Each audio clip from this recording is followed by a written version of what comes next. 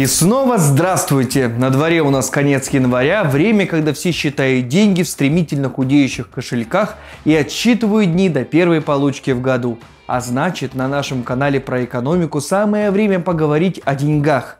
Нет, здесь не будет истории про то, как вкусно поесть за 50 рублей в день, или о том, в каком супермаркете получить наилучшую скидку, или во что инвестировать в первом квартале нового года. Вместо этого я расскажу очень-очень-очень краткую историю денег. Дело в том, что история денег в разных странах, как и будущее денег, это тема, к которой мы на нашем канале намерены возвращаться, ну, более-менее регулярно. А это значит, что нам нужен некий вводный ролик, своеобразная дорожная карта или, если хотите, точка отсчета для разговора о деньгах.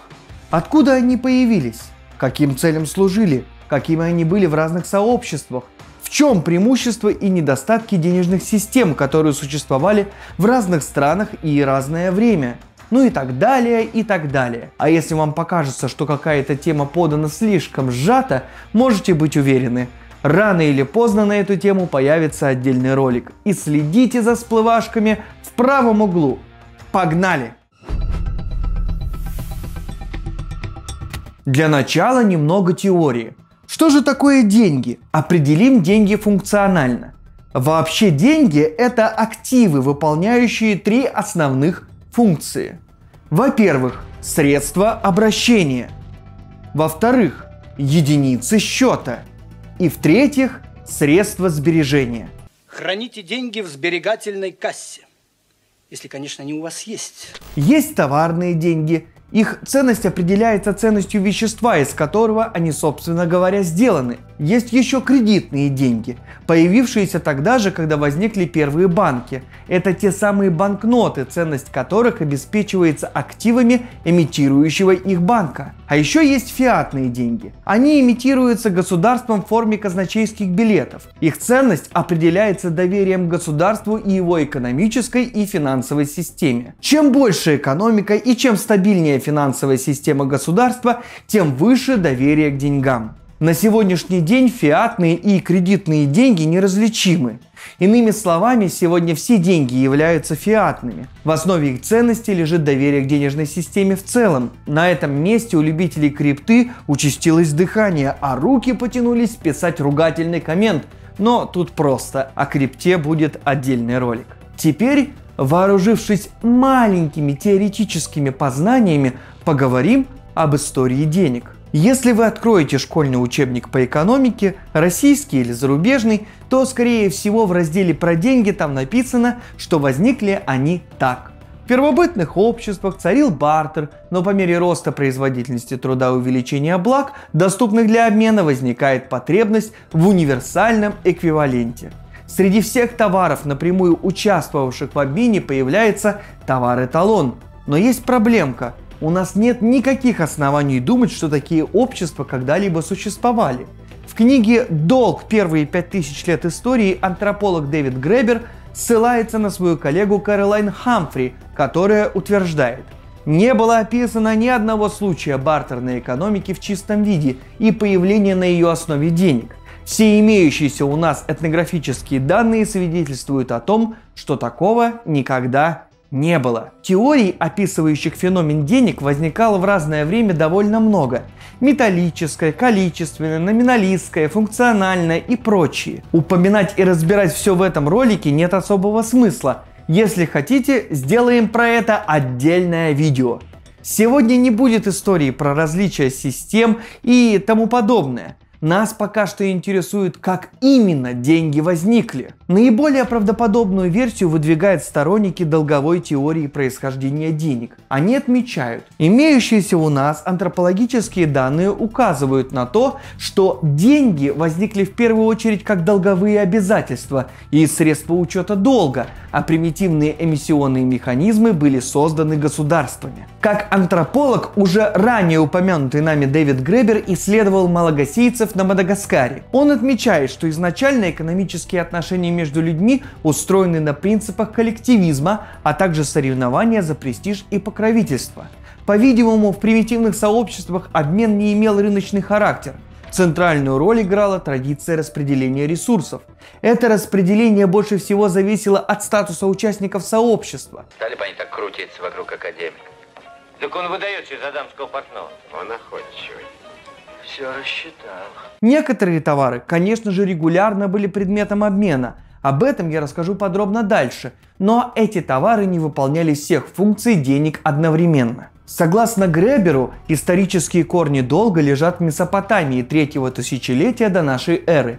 Именно там впервые зарегистрированы практики одалживания денег под процент. Гребер показывает, что долги появляются одновременно с возникновением первых государств. Правители использовали процентные суды для закрепощения подданных а через долг появляются и деньги, которые первоначально служили средством угнетения, но потом их функция значимым образом изменилась. Короче говоря, разнообразные частные деньги и фрибанкинг – изобретение гораздо более позднее – кстати, ждите ролик про фрибанкинг в Шотландии. Справедливости ради стоит отметить, что долговая теория происхождения денег может увязаться и с товарной теорией, которая говорит о том, что в процессе обмена товарами выделяется всеобщий эквивалент, который становится средством обмена. Логично, что такая теория не исключает долговой, как и наоборот.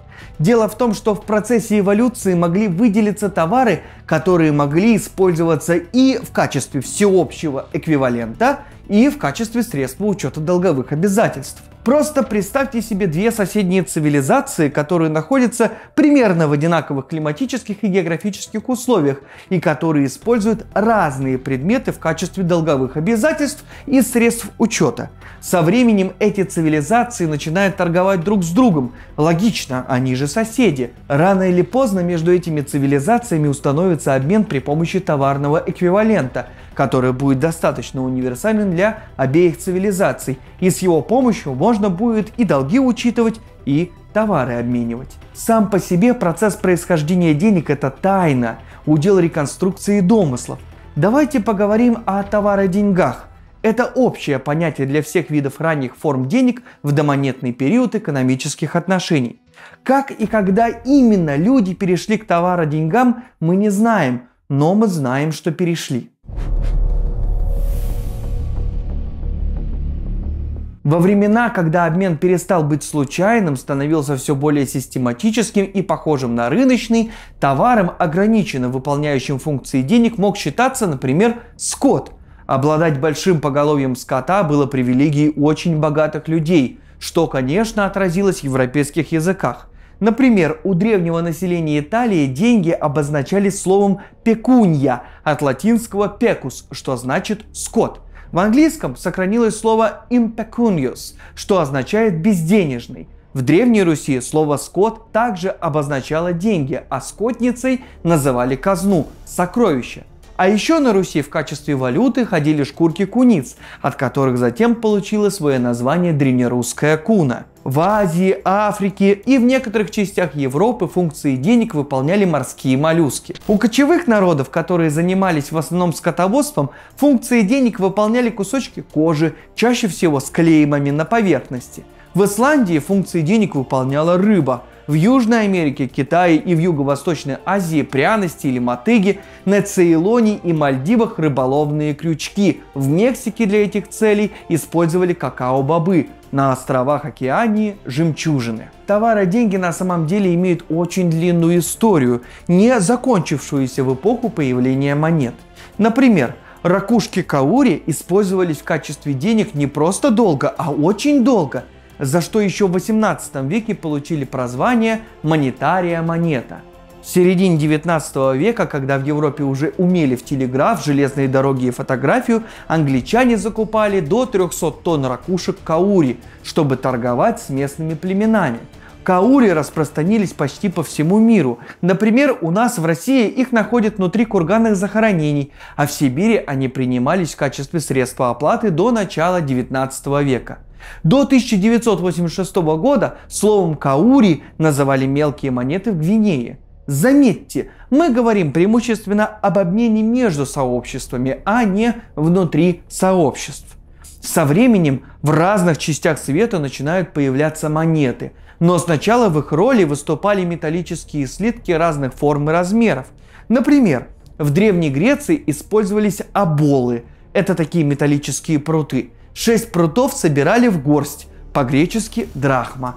Именно так называлась валюта Греции вплоть до перехода на евро. В Древней Германии ходили лепешкообразные слитки, а на Руси использовались серебряные слитки разных форм. Но у таких слитков был огромный недостаток. Они были весьма большими. Поэтому их все чаще и чаще разрубали на части, которые со временем эволюционировали в мелкие разменные монеты. Слитки оставались уделом крупных торговых сделок. В Китае первые бронзовые монеты появились где-то в 12 веке до нашей эры. И сначала они имитировали все те же ракушки каури. Монеты имели небольшой вес, но при этом стоили больше, чем та же ракушка. Они избавляли покупателей и продавцов от постоянного ношения килограммов ценностей. Они были более-менее универсальны, их было удобно хранить, прятать, дробить и перевозить. Все это привело к тому, что монета довольно быстро проникла из Китая в другие земли и завоевала мир. Довольно быстро, ну, по древним меркам. Уже в 7 веке до нашей эры монеты чеканят в Восточном Средиземноморье. Ну а слово монета возникло уже в Древнем Риме по имени Юноны Советчицы или на латыни Юнона Монета, богини брака, рождения и семьи. Дело в том, что римский монетный двор находился при ее храме, оттуда и пошло название – Принято считать, что именно в Римской республике и Римской империи, а также в Греции, монеты обрели множество характеристик, к которым мы так привыкли. Сначала племена, входившие в состав республики, отливали просто бронзовые слитки, затем слитки с изображениями и уже затем круглые литые монеты с аверсом, реверсом, а позже и с гуртом. Позднее, во времена империи, монеты приобрели функцию информационных листков. именно так на монетах появились профили императоров с разными сопровождающими надписями. Кроме того, римские монеты для удобства расчетов имели номиналы. Основной монетой был так называемый ас, который делился на 12 унций и весил внушительные 327 грамм. Римляне выпускали монеты как по несколько унций, так и по несколько асов. Со временем денежная система Рима только усложнялась. Во-первых, Рим начал выпускать специальные монеты, серебряные монеты для внутренней торговли, динарии, монеты для торговли с греками, дедрахмы и серебряные викториаты – и, конечно, золотые монеты – ауреусы. Плюс Рим активно завоевывал своих соседей по Средиземному морю и при этом не запрещал хождение местных денег, так что зоопарк монет в Римской империи только расширялся. Но монета – это деньги, обладающие реальной ценностью. Их можно потрогать, а мы с вами знаем, что осязаемые деньги – это далеко не все, что можно назвать этим словом. Как я уже указывал в начале ролика, деньги это, конечно, еще и долг.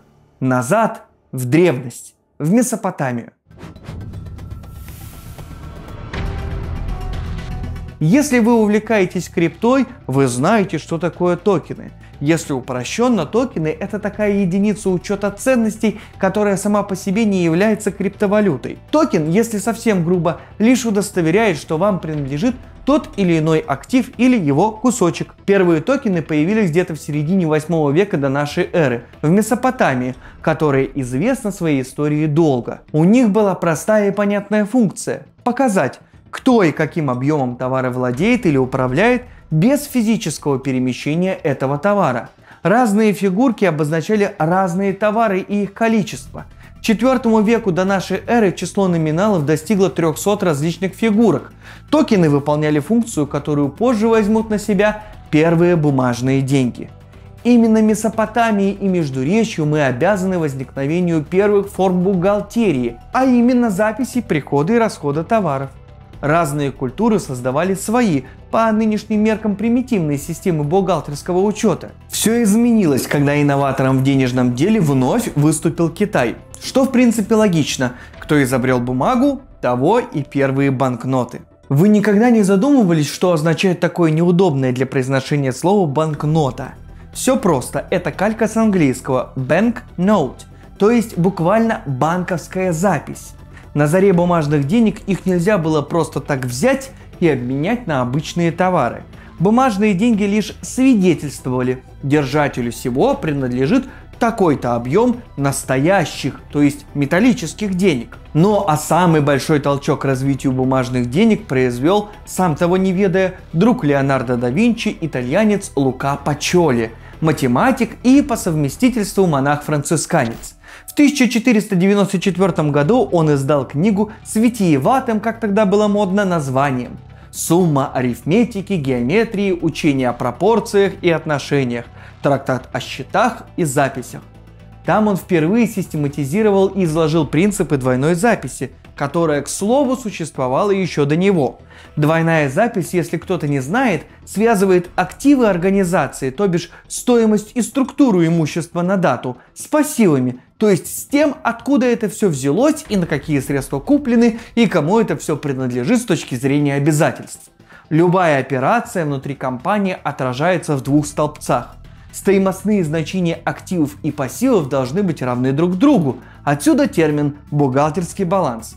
До сих пор лучше двойной записи никто ничего не придумал. Метод двойной записи открыл дорогу первым европейским бумажным деньгам. Раньше, например, египетские писари максимально подробно описывали все богатства фараона. Кто дал деньги, кто натуры, чего, сколько, как и где лежит. Неточности грозили огромными неприятностями. Теперь все упростилось. Можно было отдать те же монеты тем же тамплиерам. Ролик они, кстати, вот тут. А они запишут, кому принадлежат эти деньги, еще и приумножат, еще и вернут, сохранив записи обо всех их приключениях. Или выдадут вам же на другом конце Европы. Впрочем, это уже форма безнала. К слову, подобное строгое отображение всех движений средств предприятия достаточно сильно способствовало формализации разрешения деловых споров. У экономиста Авнера Грейфа в книге «Институты и путь к современной экономике» разбирается любопытная история о конкуренции средневековых торговцев – магрибцев и генуэзцев. Магрибские евреи, изначально будучи спаянной малой группой, полагались на репутацию. Обманешь одного магрибца и больше ни один не будет иметь с тобой дело. Поначалу работало, но когда магрибская торговля стала расширяться, отслеживать и наказывать мошенников становилось все сложнее. Плюс сообщество поделилось на фракции. Обманешь представителя одной и не факт, что конкурирующие подвергнут тебя астракизму. А вот генуэзцы изначально были разобщены, поэтому полагаться им пришлось не на репутацию, а на формальные структуры – суды, контракты и прочее. В итоге магрибская торговля зачахла, а генуэзская процветала. Суд победил репутацию, а в помощь суду была та самая двойная запись. С металлическими деньгами, как быстро обнаружилось, были свои трудности. С точки зрения правителей проблемы представляли подделки, что означало траты на поиск фальшивомонетчиков и необходимость усовершенствования технологий отслеживания подлинных монет – с точки зрения всех остальных, проблему представляла любовь правителей к удешевлению, облегчению и изменению номиналов монет. Все же в школе читали про медный бунт, да? Плюс размеры, плюс вес, плюс сложности с учетом, перемещением в пространстве и так далее. Выходом из положения в Европе стали не только сами бумажные деньги, но и развитие банковского дела. И речь, конечно, не только о бумажных деньгах, но и о финансовых инструментах. Финансовые системы, в основах которых лежали металлические деньги, как во Франции середины 18 века, считались отсталыми по сравнению с системами, где были развитые банковские системы. Банкноты, долговые расписки, векселя, облигации, форвардные и фьючерсные контракты – все это было в изобилии представлено в странах Западной Европы. Рождалось все это дело не без мук. Посмотрите, например, ролик про тюльпаноманию. Первое упоминание о бумажных деньгах в Европе, кстати, тоже относится к Нидерландам. Согласно легенде, помогло несчастье. Город Лейден находился в осаде, ни металлических монет, ни кожи в городе не было. Пришлось использовать бумагу, чтобы временно заменить настоящие, как тогда они воспринимались, деньги. В 17 веке попытку ввести в оборот бумажные деньги предприняла Швеция. Там выпускали медные монеты, которые были слишком тяжелыми и ненадежными. Глава Стокгольмского банка Иоганн Палмструх предложил заменить физический обмен монет кредитными бумагами. Но купюр выпустили слишком много, и они резко обесценились. В этом же веке в Англии деньги были выпущены как долговые обязательства английских ювелиров. Де-факто это были обычные векселя. Считалось, что такие банкноты можно было обменять на золото, и хотя на практике все было не вполне гладко, они стали довольно популярны. Прошло пару десятков лет, и рестрикционный акт ввел твердые фиксированные курсы таких банкнот, которые стали бумажными деньгами, кредитными деньгами. В конце 17 века бумажные деньги выпустила Массачусетская колония. Они стали основным средством платежа. В 1775 году Конгресс штатов постановил выпустить так называемые континентальные деньги – папу современного доллара – в России первые бумажные деньги были выпущены в 1769 году при Екатерине II, хотя планы были еще у Петра I. Металлические деньги были огромной проблемой для страны с огромными расстояниями и высоким уровнем коррупции. А тут еще и серебряные рудники не давали столько денег, сколько требовалось экономике. В итоге Екатерина II повелела открыть два банка в Москве и Петербурге, куда было положено по 500 тысяч рублей металлом и выпустить ассигнации на эту сумму. Таким образом, бумажные деньги Российской империи были изначально обеспечены деньгами металлическими. Один из самых тяжелых путей к бумажным деньгам проложила Франция. Бумажные деньги вводили и отменяли по несколько раз – о чем мы выпустили аж целых два ролика и выпустим еще. Пока будет достаточно сказать, что окончательно бумажные деньги стали деньгами во Франции только к 1871 году. Бумажные деньги быстро продемонстрировали свои сильные стороны. Они были легкими, их было удобно хранить, транспортировать и обменивать. Кроме того, совершенствовать технологию выпуска бумажных денег было проще, чем финансировать технологию выпуска монет. Но почти все страны в тот или иной момент сталкивались с одной неприятной особенностью бумажных денег – обесцениванием. Со временем государства начали привязывать бумажные деньги к металлическим стандартам. Это придавало бумажным деньгам ценность, превращая их по сути в сертификаты, которые давали владельцам право требования. Рассчитываясь такими деньгами, люди фактически передавали право собственности на определенное количество драгоценных металлов без передачи самих металлов. Такие сертификаты можно было заменить или восстановить в случае физического износа, но даже при износе они не теряли стоимости. В 1785 году Соединенные Штаты привязали доллар к серебру. Вся последующая история доллара вплоть до 1900 года – это попытки американского государства создать устойчивый биметаллический стандарт. Золото для крупных банкнот и серебро для мелких. К началу 20 века золото окончательно победило. Великобритания, чьи финансы были расстроены войной против Наполеона, в начале 1820-х начала проводить масштабную финансовую реформу. С 1821 года фунт стерлингов можно было свободно обменивать на золото, а в 1844 году реформа завершилась установлением полной монополии Банка Англии на эмиссию валюты и установлением полного золотого стандарта. Франция ближе к концу века приняла биметаллический золото-серебряный стандарт. Япония, открывшаяся Западу в конце 19 века, также выбрала золотой стандарт.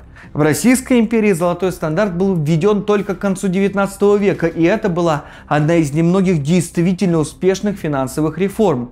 Министр финансов Сергей Юльевич Вита решил, что британская система лучшая и при поддержке императора за два года привел финансовую систему империи к золотому стандарту. Реформа дала свои плоды в виде резкого притока инвестиций, резкому росту внутренней инвестиционной активности и устойчивости рубля вплоть до Первой мировой войны. Все это время фунт стерлингов оставался фактически главной резервной валютой мира где-то до 1931 года. Но не стоит думать, что только золотом и серебром жила финансовая мысль того века. Еще в средние века появилась так называемая номиналистская теория, суть которой была предельно проста. Покупательная способность денежной единицы определяется ее номиналом, а номинал это сумма, указанная на монете или банкноте. То есть деньги это просто номинальные знаки, стоимость которых не зависит от их материального содержания. Деньги, мол, категория юридическая. Свою ценность они получают не от металлов, а от государства. А основная функция не мера стоимости, а средство платежа. В годы Первой мировой войны номиналисты резко пришлись ко двору германского императора. К несчастью для самой Германии, неконтролируемая эмиссия денег привела к массовому обнищанию немцев как во время войны, так и в 1920-е годы. Словом, результаты номиналистской политики, как бы это помягче сформулировать, не очень позитивно сказались на судьбе всего человечества. После Первой мировой войны государства перешли от золотомонетного к золотослитковому стандарту. Но это было ненадолго. Уже в 1931 году Великобритания отказалась от золотого стандарта и перешла к свободно плавающему курсу. В 1944 году ведущие государства мира перешли на так называемый золотовалютный или золотодевизный стандарт, известный как Бреттон-Вудская система денежных отношений. В 1971 году президент США Ричард Никсон объявил о временном запрете обмена долларов на золото, и в 1973 году была установлена современная ямайская система, которая положила конец системе твердого обмена валютных курсов. В мире окончательно утвердился его величество фиат. А пока государство и финансовые институты решали проблемы обмена и обеспечения денег, рынок решал другую задачу – ускорение обмена. Бумажные деньги становились все более неудобными в глобализующемся мире, а традиционная инфраструктура связи тормозила международную торговлю.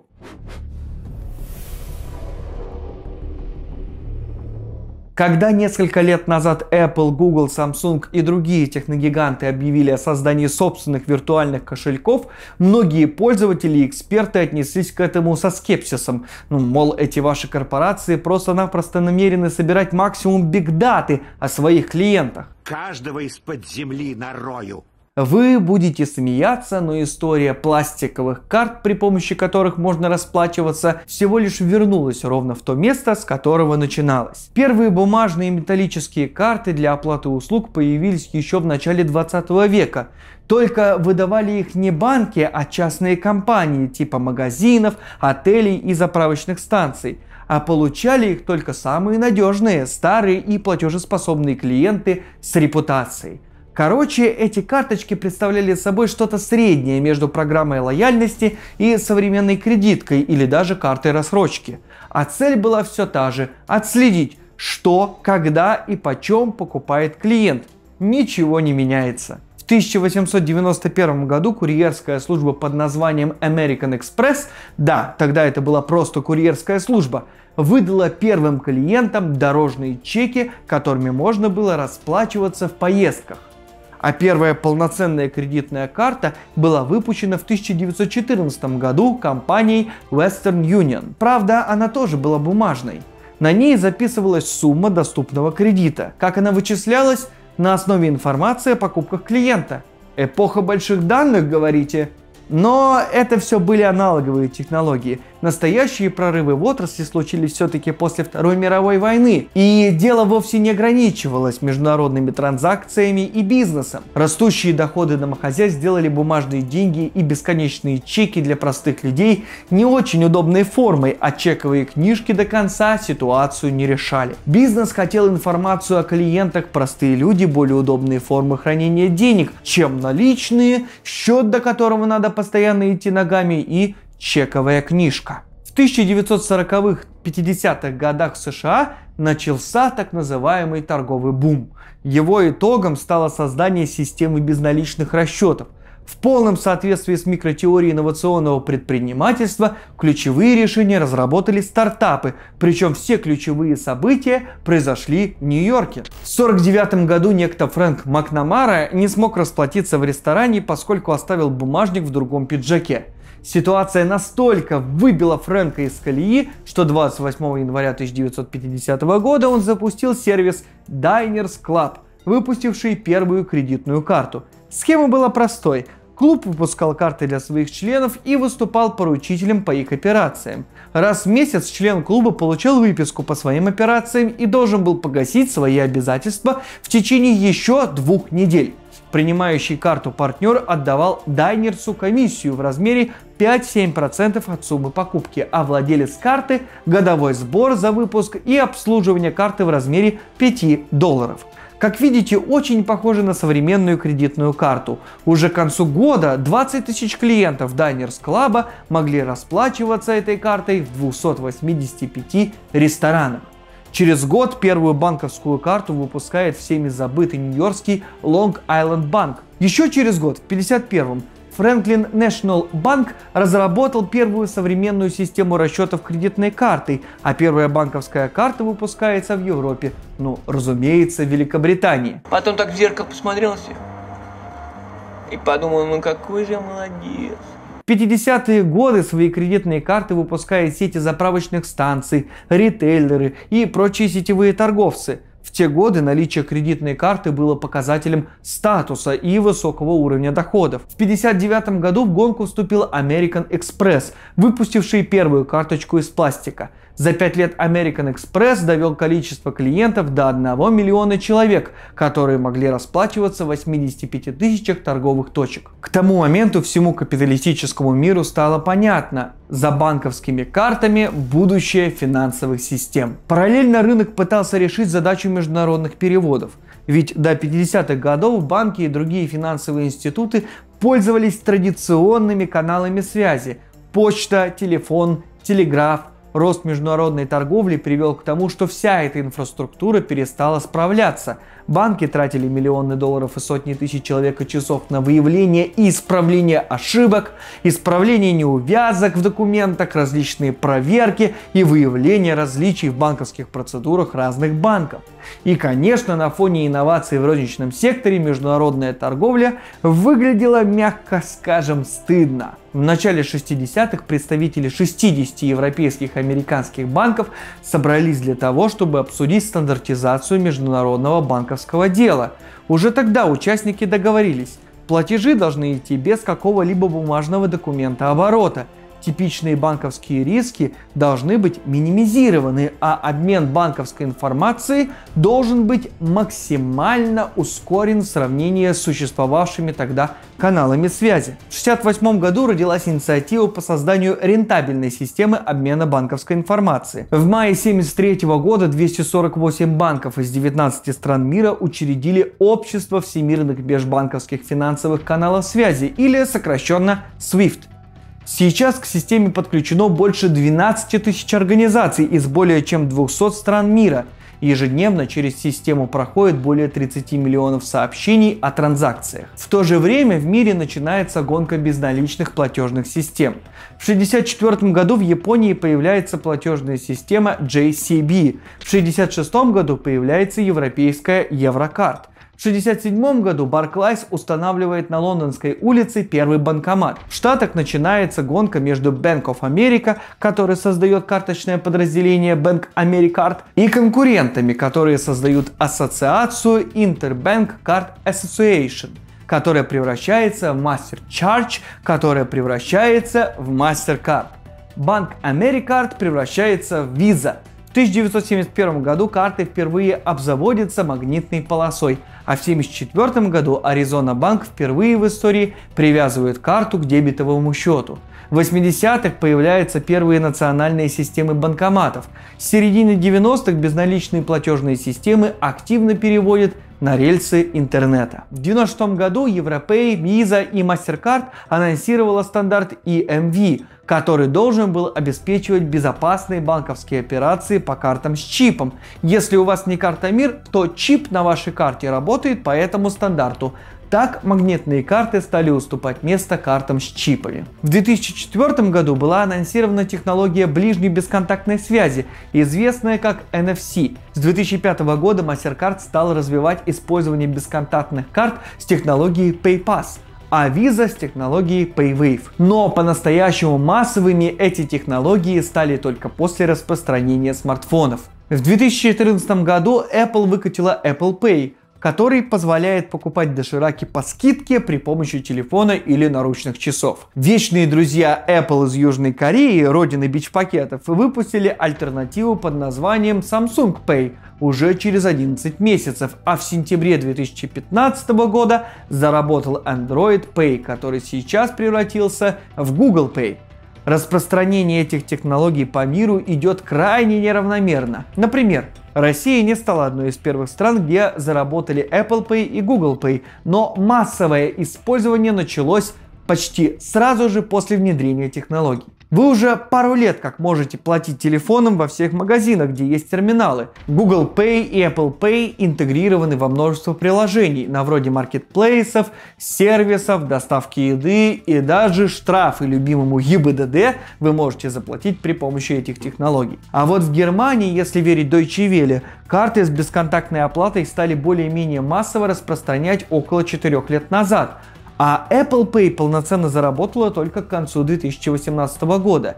Германия – один из рекордсменов Европы по любви к наличным. По данным Европейского Центробанка, в 2018 году в кошельке немцев в среднем находились 103 евро наличными. Это самый высокий показатель в Евросоюзе. Кредитные карты были только у трети населения, и только 19% владельцев пользовались ей хотя бы раз в неделю, утверждает Банк Германии. Так что пару лет назад на наших туристов смотрели с удивлением, когда они оплачивали телефоном свое пшеничное. Впрочем, все меняется, и в той же Германии есть заведение кэш-фри. Россия до такого еще, слава богу, не дошла. В целом же по Европе бесконтактная оплата перестала быть новомодной экзотикой совсем недавно. В каком-то смысле система безналичных платежей закончилась там же, где и началась. Банки, ритейлеры, рекламодатели, большие корпорации – все собирают бигдату о пользователе. Но пока шли все эти интересные изменения в денежной сфере, параллельно мы оказались в совершенно другой реальности. Кэшбэк на все. И на это, и на это. Ее формируют кэшбэки, мили, бонусные баллы в рамках программ лояльности, игровые валюты, криптовалюты, ну и так далее. Ну вы не маньяк получается, да? Антрополог Джек Уэзерфорд пошутил. Мир электронных денег больше похож на неолит, чем на рынок, каким мы его знали последние несколько сотен лет. Мы словно вернулись к меновой торговле, которой, к слову, никогда не было в описываемой в учебниках форме.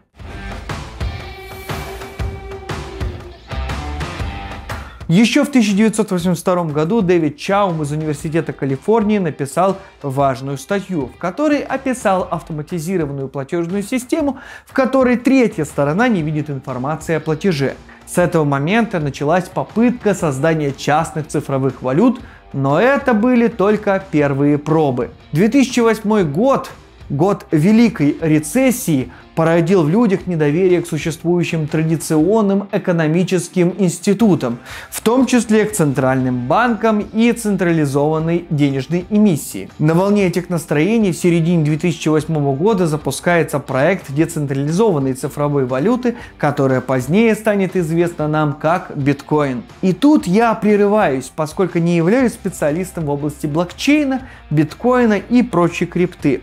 Во всяком случае пока, зато у меня есть такой такой специалист, и в одном из следующих роликов он ответит на 10 глупых вопросов про блокчейн и криптовалюты. А на этом краткая история денег все, но рубрика будет продолжаться. Подведем короткие итоги. Наиболее правдоподобна общая идея о том, что первые деньги появились не из бартера, что деньги тесно связаны с долгом и кредитом, и что системы учета долга были в значительной степени инструментами угнетения государства. Однако со временем стали появляться порядки открытого доступа, обмен приобретал все более рыночный характер, а люди усваивали рыночные практики. Деньги со временем стали инструментом свободы, они упрощали доступ к товарам, которые уже в свою очередь удовлетворяли самые разные потребности. Короче говоря, Такие вот непреднамеренные последствия. Можно долго говорить о том, что нас закабалили банки, что капиталистическая система своими финансами давит простых людей, но нужно понимать, что без подобных систем те блага, которыми мы сегодня обладаем, были бы нам попросту недоступны. Конечно, в эпоху монопольной эмиссии деньги продолжают выполнять в том числе и функцию угнетения – в конечном итоге государство не просто так требует платить налоги в национальной валюте. Но лично я верю, что глобальная медиатизация идеи частных денег, благодаря в том числе и криптовалютам, позволит нам вернуться к старым добрым частным эмиссиям и фрибанкингу, Уничтожить товарно-денежные отношения в глобальной экономике не представляется возможным. Малые сообщества разрушаются и человек глобализуется. В глобальной экономике нам неизбежно требуются эквиваленты обмена. Современные технологии, в том числе и в денежной и финансовой сферах, позволяют нам ускорять и увеличивать объемы транзакций. По сути, радиус возможных операций расширился для современного человека до всего земного шара. Мы с вами еще Посмотрим на теории денег, на валютные системы, на денежные системы разных стран в разные эпохи. И, конечно, подробно поговорим о функциях денег, фиатных деньгах и современных механизмах создания денег. Не забудьте нажать на всплывашку вот тут, чтобы проголосовать за выпуски, которые хотите увидеть в будущем. Кстати, мы закупаем оборудование для стримов. Спасибо за это нашим патронам. Кстати, присоединяйтесь, Становитесь нашими патронами, если хотите, чтобы наш канал процветал. Ссылка внизу. Ставьте лайки, нажимайте на колокольчик.